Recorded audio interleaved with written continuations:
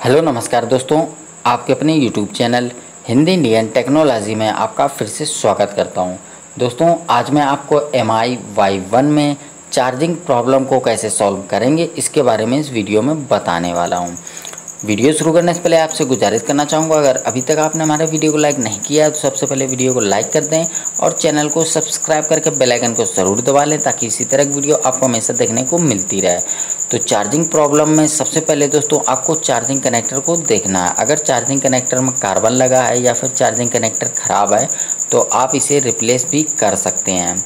और रिप्लेस करने के बाद दोस्तों, अगर फिर भी आपके फ़ोन में चार्जिंग प्रॉब्लम सॉल्व नहीं होती है तो मैं आपको बता देता हूँ कि आप इसे कैसे सॉल्व करेंगे। अगर आपके फ़ोन में फेक चार्जिंग प्रॉब्लम आती है तो वो सबसे पहले चार्जिंग कनेक्टर में कार्बन लग जाने पर या फिर चार्जिंग कनेक्टर के ख़राब होने के कारण भी आती है। और उसके बाद दोस्तों यहाँ पर आप देख सकते हैं कि ये हमारा चार्जिंग कनेक्टर लगा हुआ है। तो इस तरफ़ से जो पहला पॉइंट दिया गया है, ये हमारा प्लस पॉइंट होता है, क्योंकि ये उल्टा कनेक्टर लगा है इसलिए इस तरफ़ से जो पहला पॉइंट है, ये हमारा प्लस पॉइंट है। और उसी के साइड दूसरी तरफ़ जो पहला पॉइंट लगा हुआ है, ये वाला, ये हमारा माइनस है, यानी कि ग्राउंड पॉइंट है। तो यहाँ माइनस वाले से हम एक जंपर लेंगे, यहाँ लगा देंगे या फिर आप यहाँ पर लगा सकते हैं। और उसके बाद दोस्तों, आपको प्लस पॉइंट से एक जंपर लेना है, यहाँ से पहले वाले पॉइंट से एक जंपर लेना है, और यहाँ से जंपर लेने के बाद आपको कहाँ लगाना है, ये मैं आपको बता देता हूँ। तो यहाँ पर दोस्तों, देख सकते हैं कि यहाँ पर ये चार्जिंग कनेक्टर लगा हुआ है, और प्लस पॉइंट से आपको एक जंपर लेना है, और वो इस वाले कैपेसिटर पर इस साइड में लगा देना है। अगर इससे भी आपके फ़ोन में चार्जिंग प्रॉब्लम सॉल्व नहीं होती है तो मैं आपको एक स्टेप और बता देता हूँ कि इसके बाद आपको कहाँ पर जंपर करना है। तो दोस्तों, यहाँ पर फिर मैं आपको एक जंपर बताना चाहता हूँ कि यहाँ पर फिर से हम प्लस पॉइंट से एक जंपर लेंगे। पहले वाले पॉइंट से आपको एक जंपर लेना है और वो जंपर आपको कहाँ लगाना है, ये मैं आपको दिखा देता हूँ। तो यहाँ पर ये हमारा पट्टा लगा हुआ है, इसे हम रिमूव करेंगे।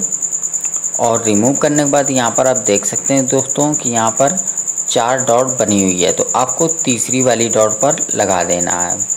इस वाली डॉट पर लगा देना, इससे आपके फ़ोन में चार्जिंग प्रॉब्लम सॉल्व हो जाएगी।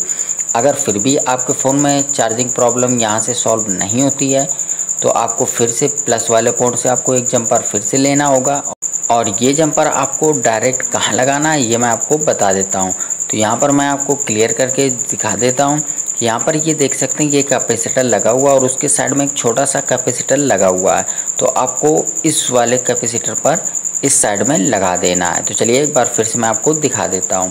तो यहाँ पर दोस्तों आप देख सकते हैं आपको जंपर कुछ इस तरह से करना है। इस तरह से जंपर करने पर आपके फ़ोन में चार्जिंग प्रॉब्लम 100 परसेंट सॉल्व हो जाएगी। तो उम्मीद करता हूँ दोस्तों कि आज का वीडियो आप सभी को पसंद आया होगा। अगर वीडियो पसंद आए तो वीडियो को लाइक करें, शेयर करें कमेंट्स ज़रूर करें और प्लीज़ मेरे चैनल को भी सब्सक्राइब करके बेल आइकन को ज़रूर दबा लें ताकि इसी तरह की वीडियो आपको हमेशा देखने को मिलती रहे। तो चलिए दोस्तों, मिलते हैं नेक्स्ट वीडियो में।